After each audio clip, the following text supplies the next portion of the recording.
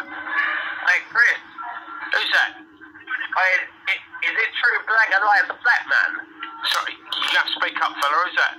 Is, it- is it true Black likes a black dick? I'm told to ask it you. How would I know? Brian's wife, is it true she likes a Negro? How would I know? Well, I know, someone run me and said ask Chrissy if, if um, Brian's wife, like Blanca, likes a black dick. You should leave people's wives out of it, fella. Why? Because they're nothing to do with it. She's a lady at the end of the day.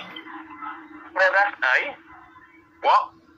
But No one would touch that dirty Hungarian cunt. That's why she's with fucking Brian. I thought Why'd be like that about? Why'd be like that about a woman? It's nothing to do with her, is it?